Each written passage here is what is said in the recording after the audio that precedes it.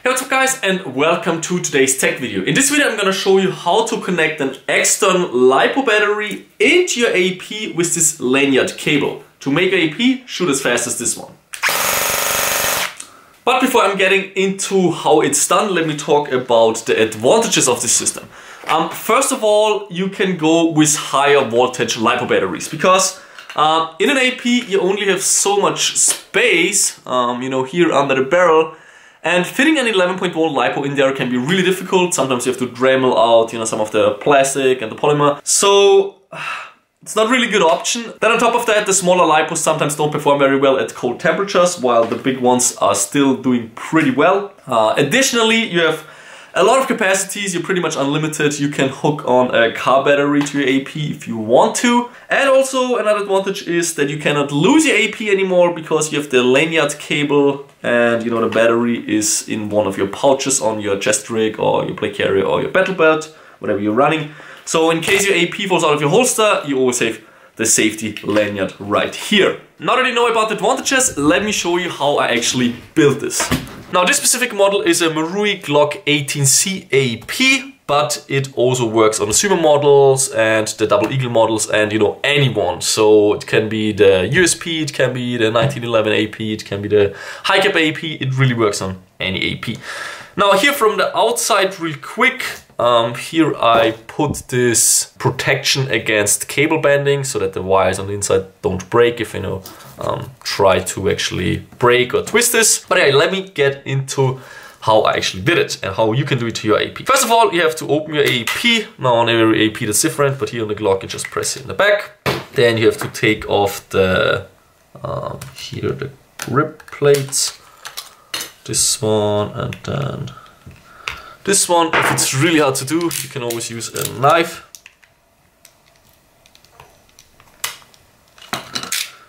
Exactly like that. Uh, because what we want to do is we want to take out the actual gearbox. But before we can do that, we need to take apart the entire thing. Let me zoom in here a little bit so you can see better what I'm doing. Uh, first of all, we need to lose this screw, this screw and the screw over here to get rid of the of this cover right here.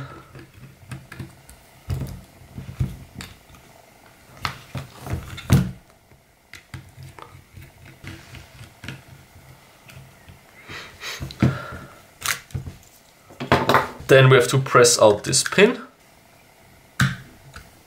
and pull it out here from the other side. Then we can pull back the nozzle to actually take out here the barrel assembly with the trigger.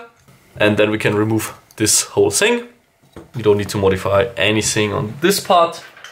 Okay, then take a Phillips screwdriver and take off the metal piece here in the back.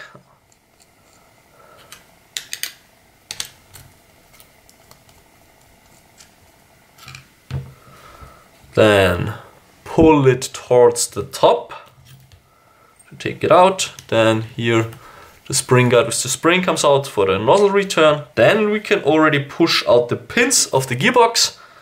So we have one pin here, we have one pin here. If you're having a hard time getting those pins out, you have to use some force.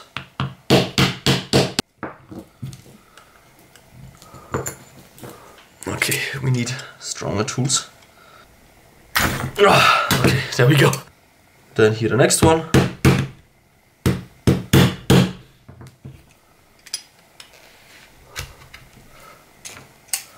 One is here in the back. And the last one is here on the bottom.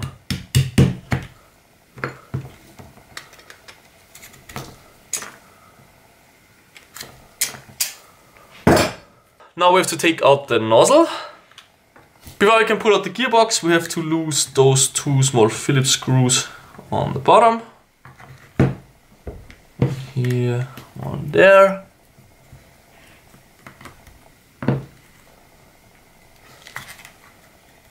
Now we can take off this plate.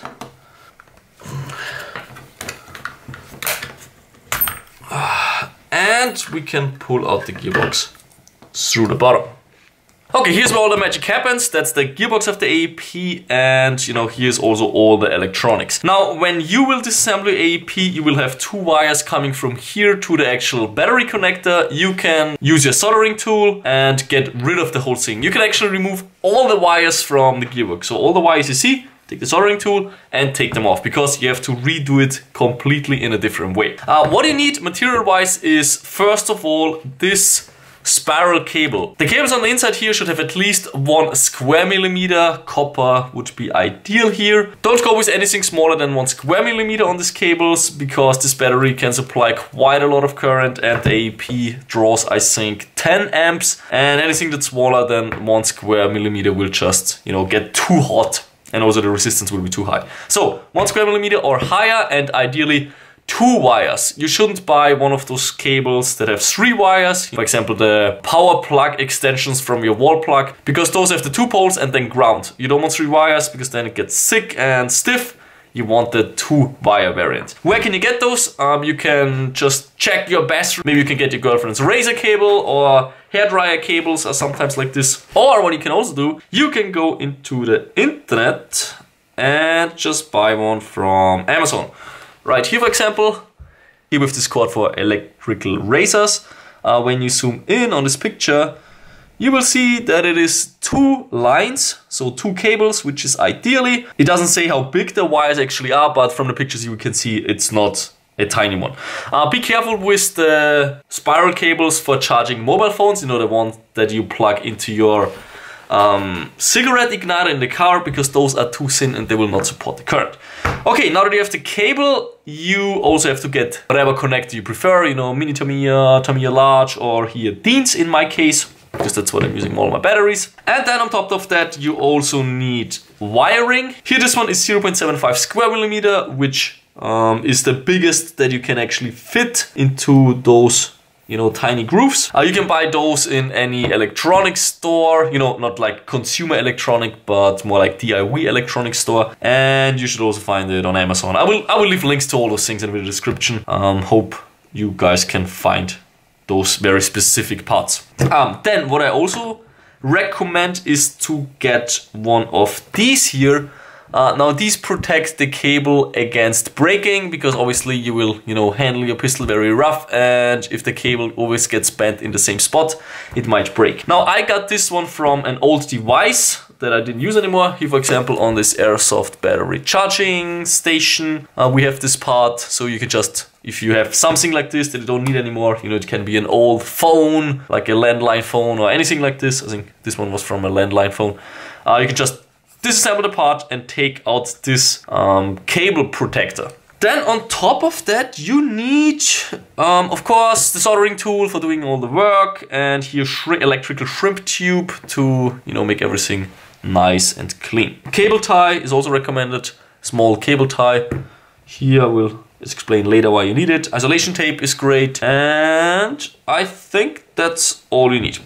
Okay, so once you removed all the wiring from an AEG gearbox, what you have to do now is rewire the whole thing. So first of all, you take your spiral cable, you cut the power plug connector, and the two wires you just solder your Deans connector on there. Now usually there is two colors in there, there's red and blue or there's black and black, but one of the black wires then has a white line on it. This lets you distinguish what's the plus and what's the minus cable. So however you connect those two cables here on the Deans connector, you have to take care how you connect it on this side, because otherwise the motor turns in the wrong direction and your AP is not gonna shoot. So on the Deans connector, this is always the minus one, this is always the plus one. So remember which cables you connected to on the inside of the spiral cable and the minus cable then goes here onto the motor on this side.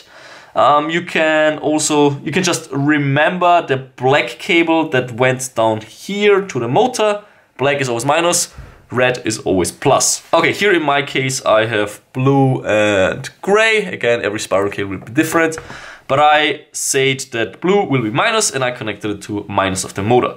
Then the plus I connected here onto the smaller diameter cable because this cable is too big to fit into this groove. So I connected it to the 0.75 square millimeter cable. I put some isolation tape around here A shrink tube would be better, but there's not enough space to actually fit the shrink tube. This is why I have isolation tape here. Let me show you the camera again. This one is connected to minus of the motor and the plus one goes up here all the way up and then usually right here the cables, the standard cables, they would go to the switch unit, but we don't do that.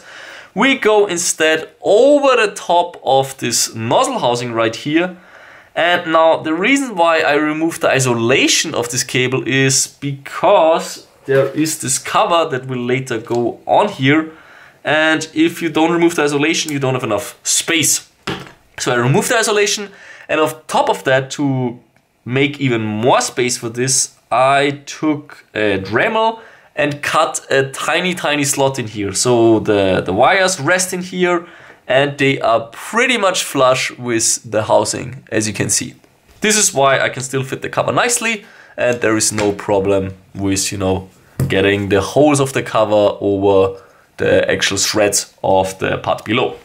Okay, then I'm going down here to one side of the switch unit, uh, in this case here the one on the inside, and then I connect another cable, again a 0.75 square millimeter wire I connected here and then go down the gearbox again and onto the plus pole. So real quick, super basic electricity. Um, the power comes here from the battery. Um, so plus goes all the way through the spiral. Then it goes here to the switch unit. And here's where it stops because this switch unit is not connected right now. So when I close the actual circuit by, you know, pressing the switch unit, you will see that the AEP gearbox shoots uh, because it connects those two wires basically. So the current goes down here through the motor, um, then the motor starts turning, and then through the minus it goes back into the battery. Um, so this is the very simplified explained electronics of this whole system. Now, um, let's get back to how I do the cable protection. Uh, again, I took it from a device like this. And what I did is I took the base plate of the AEP. Now that's the thing that goes here. And I took a Dremel and cut out this shape right here. You know, usually it's closed right here. You know, it's the bottom of a Glock AP. and I just took the Dremel and grinded this part out. This way I can use this cable protector and this was also not the right shape so I also took a Dremel and made this part right here rectangular. Again, you know, some grinding and some DIY and then I can just plug this together. Here we go. What I then did is um, there's a pin going through the grip right here that goes through the grip and through this part. So what I did is I took a drill, a tiny, tiny drill bit, I think two millimeter, and drilled through this actual rubber. So when I now assemble the whole thing, this pin will go, you know, through here, and then it goes into this part. Let me align that real quick. It goes into that part and then it goes through the, the cable protector and there we go. This is how the whole thing is connected and this is why this cable protector will not fall off, you know, it will not slip down the cable. Uh, what I also did uh, to make sure that this cable will not slip through this cable protector is I put a cable tie here on the end of the insulation which makes sure that I can't rip out the cable from the AP. So yeah, and now the whole thing gets assembled. Here I have to make sure that the isolation actually covers the soldering spot, otherwise I have a short circuit, which is bad for the battery. Let's unplug this. Yeah, now I just screw the whole thing together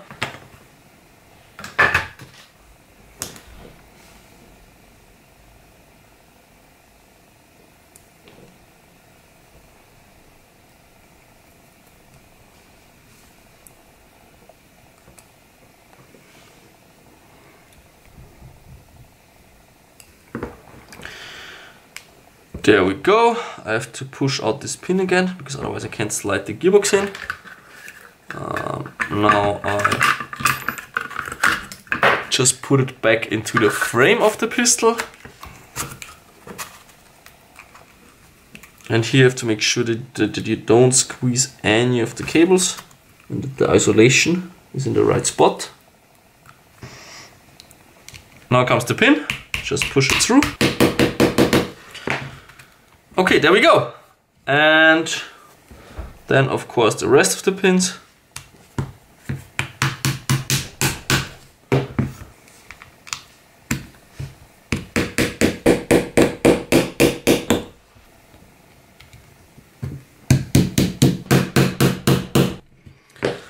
Okay, there we go. The gearbox is installed. Now we test it again if it actually shoots.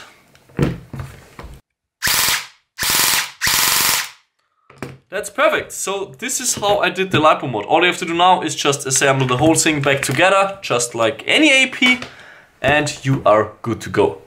Okay, and this was the video on how you can modify your AP to make it shoot as fast as mine.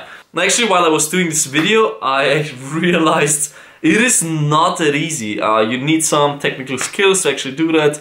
Um, the parts that are necessary are quite uh, not hard to get, but you really need to know what you're buying. So I will put links into the description that will hopefully help you guys out so that you can do this modification yourself. Um, if you've never done any electrical work or working on airsoft guns, I do not recommend to do this. It is a quite hard modification, it needs some skill to do it, and I don't want you guys to mess up your AP. But, you know, maybe you have a tech workshop around the corner, or you have a friend who's really experienced with this, then maybe you can make it together with them. Okay, now let me know what you think about this modification. Before I'm ending the video, I would like to talk a little bit about AP tuning because I tried a bunch of stuff and there was many, many unnecessary things that didn't do anything at all to improve FPS, rate of fire, reliability and all that good stuff. The very first modification you should do is the LiPo mod. Trigger response is a lot snappier, rate of fire goes higher, um, you have more capacity usually, and you can also play in cold winter games because LiPo batteries are more resistant than the ones they come with. The second most important modification is, in my opinion, a tight bore barrel. Here I having the PDI 6.01. It increases the FPS by, I think it was like 10 to 15 FPS. And then every other modification is pretty much useless. Here in my personal AP, I mixed um, Marui and CYMA parts. So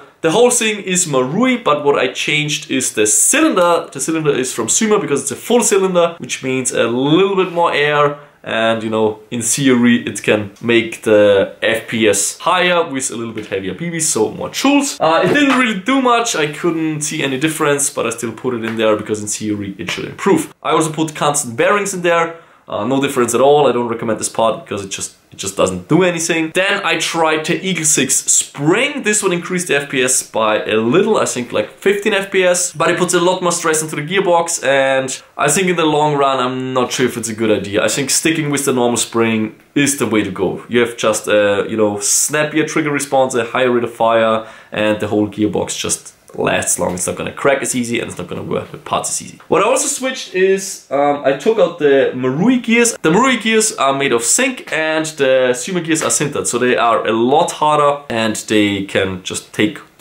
more shots they will be more reliable with these gears. This is the tuning that I did to my AP. I also tried a bunch of other things like the 9 ball piston and the PDI piston head and all those funny things. But seriously, none of this stuff made any difference. The biggest difference was made by the LiPo mod and then the precision inner barrel. The rest, just just keep it stock and you're good to go. Okay, that was it. That was the modification video of my AEP. Hope you guys enjoyed. Hope you learned something. I hope it wasn't too difficult. Um, I feel it was a lot more difficult than I saw in the beginning than it would be. But this modification is two years ago when I actually didn't even remember anymore how I did it. So when I was opening it, it was like, huh, Actually, it was kind of tough to do. So, thanks for watching. Let me know in the comments also what you want to see next. You know, what do you want to see on an Novritsch Tech channel in the future? And that's it for this video.